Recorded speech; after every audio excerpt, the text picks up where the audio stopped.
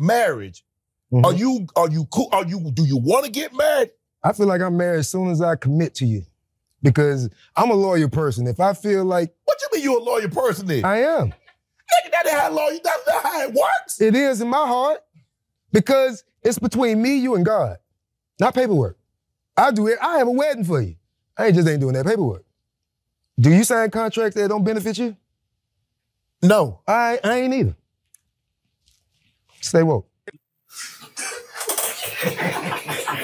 That was me back in the day. That was definitely me. That was me before I got married to my wife.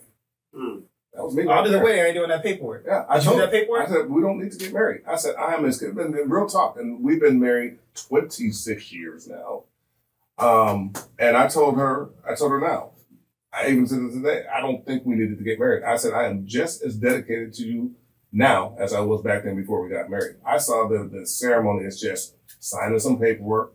And now, granted, some legal obligations, no doubt about that, but nothing in our relationship has changed that now that we got married. Besides the legal obligation, I'm still as dedicated. I love her just as much. And, and, you know, my attitude was like, we could have saved some money on that wedding in Las Vegas where we got married. I think that works for you. I don't know if it could work for the average couple though. Well, there's a difference Yeah. between the wedding and marriage. They're, they they seem to go together, but it's, they're different.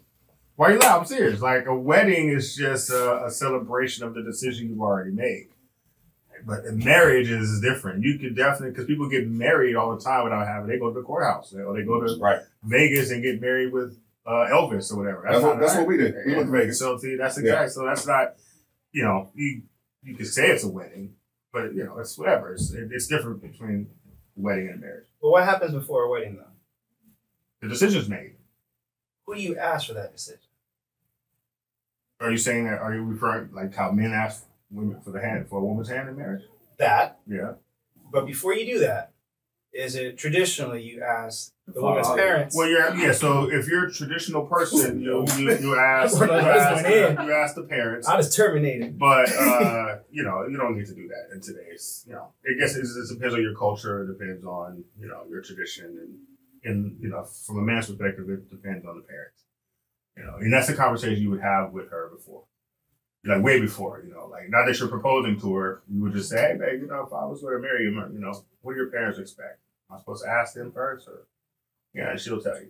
Well, See, you I was should really because like, I she was leaves her parents' house to go into your house. Right. Yeah, I mean that's that's the traditional way, and I'm not against tradition. I'm all for tradition, and generally speaking, parents like me.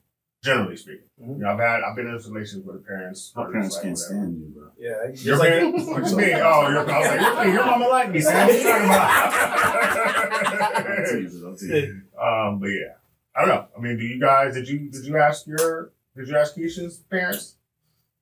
Um, no, I didn't. Um, Keisha comes from a divorce home Ah. like myself, and so That's the the, other thing. the access wasn't there. But respect to Jose Hopkins, he's been an amazing support to our marriage. Um, and if I could do it over, I would ask him. Um, as a matter of fact, our 20th is coming up, and I will ask him, can I have another 20 years? You know, so this is going live before it, it, it gets there. But Shout before we get there. But um, you know, I, I- I think what the guy said on Shannon Shannon Sharpe's um, podcast, he said in his view he did. to him, It is in my heart. and, and, and there's a lot of that in this world where Yep. we we make decisions based on how we feel, but it's not biblical, it's not legal, it's how he feels, and we know our emotions change on a lot of things Yeah, that's what I life Yeah, uh, Orlando already teed it up. Is how he used to feel and see about things about marriage. So we have to be careful about our emotions because um, he be he may be blocking a real blessing from God by not ordaining his marriage through God's lens, but through his own religion, Well, his, no, own, that's a his, very own, interesting thing though. his own wants and feel. Because with when a union through God, there's You're under the blessings that come that's You're under the that's covenant. yeah, you're now in his circle. So he has things for you that you're going to receive through your marriage that he won't receive because he's not married. So wait, I have a question. Okay. I, I really have to interject here. Um, I'm going to set a stage, and, I'm- and I'm going to take Big Brother. That's what I call Uncle Sam, government, Big Brother. whatever. Okay. Okay. He said he he'd have a, a wedding. yeah, that's that's the ordained in That- God, right. You can have a a priest, a pastor, set you set the Is that stage. You have your But hold on, but let's Is it No, legal? you have, you have you have you you have and here's the biblical side. You have your witnesses, mm-hmm. and he, he even said, "My my woman." He me- said no paperwork. No paperwork. But, said no paperwork. but paperwork Granted. refers to legal, like to the right, state To this, but here's the thing: if I'm standing before my pastor, Okay. my wife, Then that- and my family, and my I don't care what Uncle Sam says. Yeah, I exactly. got me, God, and my wife. but he ended it with, "I won't sign anything that won't benefit me." So he just ruined the whole thing.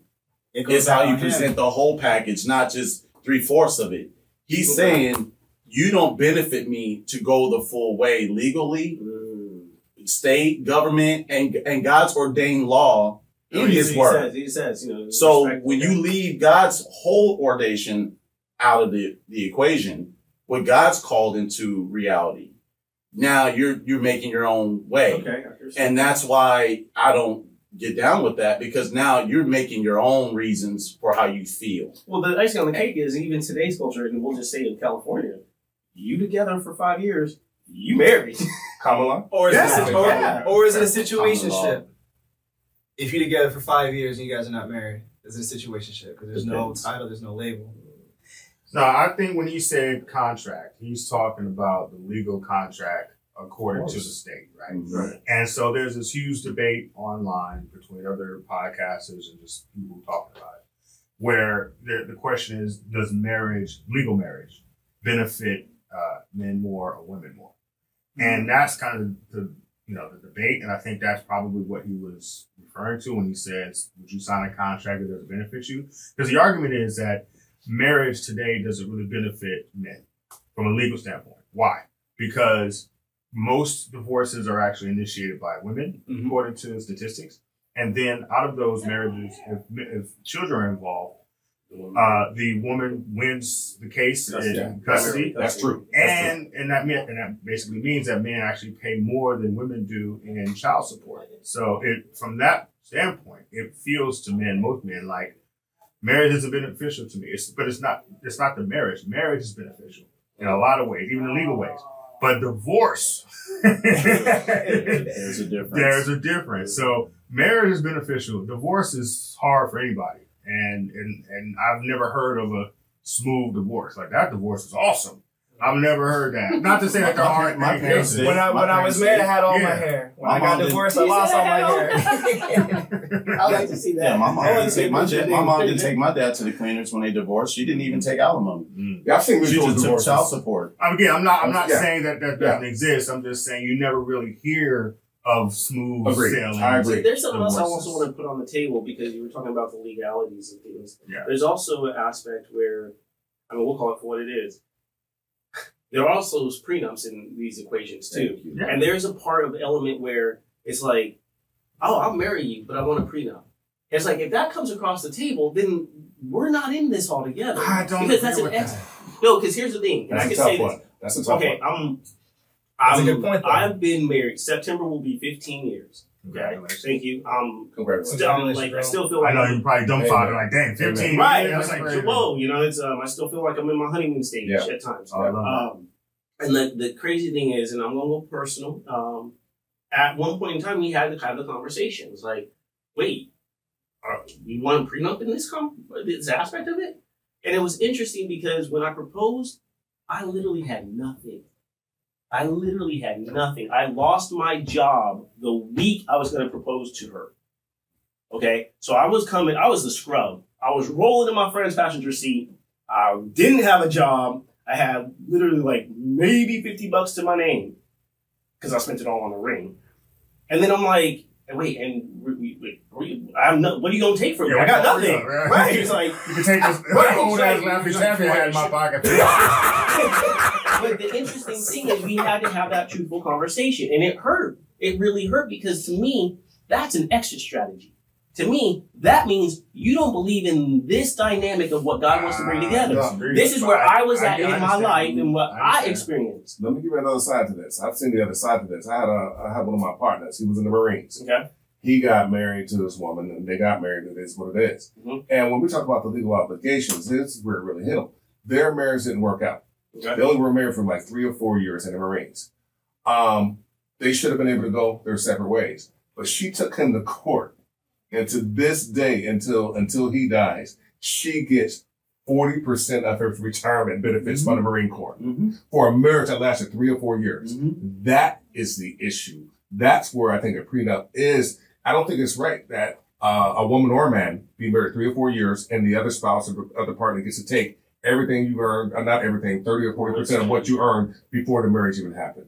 That's the, that's the, the problem I have. with that. especially today, right? Because like, you know, when these laws were put in place, at that time, what would, what did marriage look like, and Yeah, and, the and, and, dynamics what did the dynamics of the family look like? 50%. Men, well, men were the breadwinners, typically speaking. Mhm. Women either were not allowed to work, Yeah. or if they were allowed to work, they, was- they their their jobs were like limited. Like they, Right. they they had very little access to certain types of work.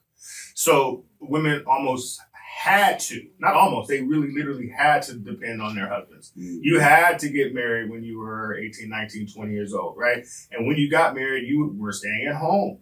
And if you did have a part-time job, you were a secretary making less than minimum wage Yeah. as a woman, right? Stereotype So roles, exactly. But Yeah. now there are, the workforce is heavy. It's more than yeah. equal. More it's than heavy. Yes, like women. Yes. women are more educated than Yep. men across the board. They Yep. have more outnumber degrees us, than we yeah. do. Yeah. They outnumber us. It's like four to four to one. Yeah. Uh, and so they're heavy in the workforce. All my boss, well, not all, but majority of the bosses at my current job are women. Yep. Uh, uh, the last three or four jobs I've had, all the people in power Shout out to the women out there. yeah, Yeah. shout out Oh, to the yeah, women. They were all they were all women, right? So in the workforce, it's a little bit more than 50-50. And some women are making more. I know there's a big debate about how men make more, but that, that's another debate for another day. But my point is, women don't necessarily need men anymore for that, right? Just the way our society is set up. So now, but still, by and large, women, like I said, win most of the custody battles and they, and they pay That's less true. in child support. Absolutely true. And so I don't think that it's really fair necessarily because it's like, well, hold on, you got a full time job. you are educated. You have a degree. You're more educated than me. You make a little bit more than me. When I get the divorced, you get to keep the kids, and you make more, and you take a lot of my money. Oh, that's a little, that's a little tough. Two wrongs, two wrongs don't make it right. But for years, women have been getting the shaft, and the men had the Yes. total advantage. Secondly, I, I see a very different, uh, an aspect of it as different, having separation of church and state. So when we talk about marriage and marriage ceremonies, all the, the benefits, the pros and cons that come along with that, if you really, you know, Michelle and I, my, my wife and I, we break it down. If we really look at marriage, and we're all going to get older, all of us are aging. You know, got I have more days uh, behind me probably than I have in front of me. And in the end, um, I'm confident and I'm happy that I have a wife and I have a partner. And if something happens to me, I walk outside and I get hit by a bus. Mm-hmm. And somebody has to make a decision. I mean, when we're talking about marriage, they get to decide if we live or die. If I get hit by a bus and I got a 50-50 chance, me and my wife, we've already talked about it. I said, if I have a 30% chance or better, keep me alive. If it goes below 30%, let me go. And we both said, uh, mine's 30 versus 50. so, so, and, but so we're talking about the probably you had that spouse conversation. or a partner who will make a decision on whether you live or die and vice versa. So when he talks about, when he talks about, well, I don't sign no contract that doesn't benefit me, I would hate to be sitting there and have somebody I don't even know, care about or love make the decision on I, if I die or live or what happens to me. If something, if I can't make the decision on my own. So I think we need to look at the complexity and a little bit more universal of what that really means. And that is the biggest advantage I see of being married. Knowing you got somebody who has your back. Let's look at that complexity. He don't sign no contracts that benefit him. So there's risk on his end. Huge risk. And I don't think he even considered that. No, there's risk. There's risk in everything we do. Right. So let's say his risk. We all can agree a man's risk in getting married is financially. You know, you're giving up some level of dependence or independence to cater to a household. But one thing I don't think we talk on is what is a woman's risk in getting married? Are there any risk for a woman Oh, married? times, yeah. Yeah. She can risk her financial independence. Absolutely. She can risk her travel aspirations, her career goals to tend to a house. So she she might not be able to take that promotion because it'll, it'll conflict with her household, and it might cause resentment and feelings of unfulfillment. What do you mean we make conflict with the household? Just to make sure we define that. What do you mean conflict with the household? Like let's say she takes on like a job. like let's that? say she takes on a promotion that requires her to be to travel. Okay. Better pay, income, pay the bills. We all got to pay bills, and eat, right? Romance and finance, in my opinion, that's her That's very important in a relationship. Okay. But how does it conflict in the household? She's traveling. Can't be home with the kids. Husband wants to come home to a hot plate or something like that. Can't spend time with the husband. Let's say you have kids, you're spending more time with the kids and date nights with with each other. It's easy to get carried away with kids than it is to, oh man, I'm feeling unfulfilled because these kids' mess are me- and met, but not mine.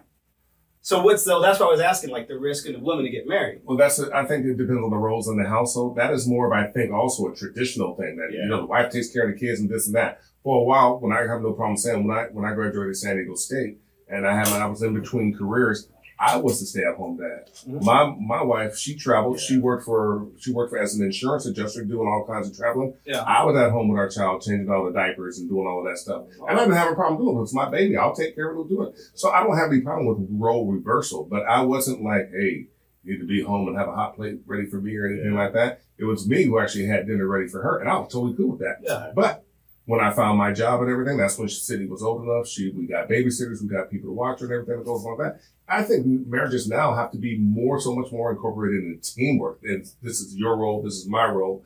Parents, and especially with the um, the dual income that's needed to Yeah. just survive now. In California? for anybody that can afford to have a house in California, if both both uh, parties aren't working, both parents aren't working, you're gonna be renting, and they're gonna keep going up on your rent every every, Every doggone month. Yeah. And do you know how expensive it is to have a kid now in California too? So I think it's it's incumbent now. I mean, if anything, if my wife was sitting on the couch or doing that, those traditional roles, I'd say, "Oh no, baby, you got to go and get a little, get you a little part time job, Mhm. add into this household um, income because it is absolutely a requirement and a necessity now that now in today's times." I, Yeah, I got, I I, got a, I got a deeper question for you, Nick. Right. dog. Um, you asked the question, what's her risk? Mhm. Her risk is marrying a man that's, that she thought he was somebody that he's not. There's another risk. Perpetrators. That could be a man's risk. too. So my wife and I had this conversation about a week ago, and we were celebrating a promotion I got, and just really Congrats, sweet. congrats. Thank you. Congratulations. And I said, thank you for journeying, doing this whole journey with me all these many years and the good and the bad of it. And she said, you always saw the potential in you. So I wasn't who I am today, Right. who she thought I was 20 plus Back years ago. But she was willing to do life with me in hopes that I would become and honor the marriage and do all the things that women hope their men be or are. Mhm. So the risk is women marry men all the time off of potential. Doesn't mean that man ever ever reaches it. Doesn't mean he he truly honors the marriage. Doesn't mean he truly pours into the household. They're they're taking a risk. They're taking a leap of faith Well, because because a man is supposed to be the leader of the house, and I always bring this up, but we're not always ready to lead. I, I don't have P Diddy money. I don't have celebrity income. at least you don't have P Diddy ways. But but but, but with that said, maybe I did. Mm, okay. You know what I'm saying? Maybe that's the old me. So I think women take huge risk in putting their lives in in, in alignment with the man that's supposed to be leading. And if they don't, Mhm. what does that turn out? How does that come out in the wash? They gave us children. They provided a, a home full of love, and the man is still acting a fool. There's a risk in that for women. They don't get what they thought they were going to get out of us. No, I'm gonna play the other side of the coin. I got It's a two way street though. That, he just asked about the risk that they take. That's all I'm saying. Yeah. But don't you think we as males, men, No, we like we take risks too? But, Yes. he, but his Both question risks. was, what risk does women Women take? Okay, yeah, Right. Because okay. we talk about the financial obligation or the financial liability when we're Financial divorcing and what we lose out of the deal if it doesn't work. So I'm I'm answering his question on what do women risk going into a marriage, and that's it. They risk not marrying a man that's not who they thought he was, But that's a beautiful Well, thing I love So like or, that, or, it's how never, or never goes. becomes. about your potential. Keisha saw your potential. Yeah. Michelle saw the same potential in me, but I have no problem saying I was broke, especially coming out of school and everything. We were broke. And the beautiful thing about it, we talked about it as husband and wife. She said, she know, she said, no matter what, Orlando, no matter what, I knew you were the one for me because I could be totally broke with you and still be happy because that's what it was about, my happiness. Michelle and I, you know, I don't know anybody at this table, but Michelle and I, we were so destitute at one time. We weren't sure where our next meal was coming from. And as a team, as a team, We found change in the couch, change in the cars and everything. The only thing I saved was by grace. Of course, by grace by God. We ended up saving about $18, $19. And thank goodness we saw a commercial coming on and it was five, two, you get two Big Mac, two Big Macs for $5 at McDonald's. And I kid you not, that held us over for about seven days until I, we both got our paychecks. We were that destitute. But you know what? I look back at that with pride now because we did it together and we both risked each other and we struggled through it together. Now, if that ain't, and, and, and if that ain't somebody who's down to ride with you, I don't know what is. I wouldn't trade that for anything. But that's amazing that Yes. you have that story and that legacy with your wife and that she's journeyed with you Yes. through the highs and the lows. My potential Because of my potential. but my potential wasn't about money. Right. It that. wasn't about providing. It was about us being able to live and grow together. Because again, all of our parents at one point or another got, you know, in God's order of things, they all went to the um, um, to the altar with the right intentions, and some of it worked for them, some of it didn't. Right. Um, but we were still journeying together, so that's where she saw the potential of us being a loving couple together all these many years. The money comes and goes. It wasn't about the money. We're just celebrating that this season things are looking up Right. in so many ways. Right. But it, it was deeper than just financial providing because again, that's the risk women take. Is is a man is this man gonna be able to provide? Is he gonna be a loving husband? Is he gonna raise our children right? Is he gonna Yes. be an outstanding citizen? Is he gonna be healthy for the rest of his days? It's so many risks that you said traditionally, Larry, women were marrying into these marriages that they were staying at home and they were so dependent, almost childlike. And no disrespect, but that's the way the world was. It was that leave it the beaver set. world, was you set. know. Yeah. And so now, where we have options on both Yeah, sides, Yeah. it, it is still a risk for women because again, they're seeing society society speaking. It's Yeah. they look at biblically speaking that they're subordinate to the man, and the man is supposed to do right in all these areas. Well, he's Supposed the to. man's supposed to be Supposed- supposed to. to. too. Yeah. and that's Yeah. and that's the risk they take. Yeah. It's not having that outstanding gentleman to lead the charge. Yeah, and so look, you guys, most of you at this table are married. Uh, I know Yeah, we got three- three out of five not are married. No, I went, I went through divorce. Yeah, you were before. Yeah. I'm not married. I've never been. Right. My perspective is this, and I can't take full credit because a friend of mine, uh, Evan, um, wrote a, a screenplay, and uh, there was a line that he wrote in the screenplay that like it just, and I can't even. The way he wrote it was more beautiful than what I can explain. But basically, the character in there in the script said, when you get married, you're marrying three persons. You're marrying the person that that person was, who they are today, and who they will be tomorrow. And those are three distinct people. You're marrying her today because of who she is today, Right. and, you, and this is who you fell in love with. But you're marrying who she used to be also because there might be some untreated trauma that you know will Life probably you experience, know, Just life issues, experiences yeah, and stuff, issues, issues that yeah. might come back and all that. But then you're also committing to the person that she will be in the future because change is inevitable Change happens. right? And I'm saying she, but you know, this goes for both people, Both like, for sides, both right. sides, the husband and the wife. You're marrying that whoever that person is going to be in the future. So the question is, are you willing to take that chance and that risk of who this person might be? Because we all change over time. Maybe the core of us, you know, doesn't really change, but there are life mm-hmm. lessons and there are oh, things that we go through. We're completely different when We you're evolve. 70 and 60 evolve, years yeah. old, right? Yeah, you evolve from when you were 20 or 30 or 40. So there's already there's risks involved. The problem that I have is emotions. Emotions are fickle. Mm. Okay, they're fickle. Can you define that? Yes. So right now I feel good. Right, I'm with my boys. I'm happy with y'all. Yeah. Uh, right. So I feel good. I'm on this podcast. There's people Right. listening, and maybe our views are going up. Click and subscribe. Um, right, I feel good, right? But then, you know, when on, on the drive home, somebody might cut me off in traffic and my feel good goes, turns to anger real quick because I do suffer from road Changes to rage. the little John anger. Exactly. exactly. I suffer from road rage when you drive in the slow lane, bro.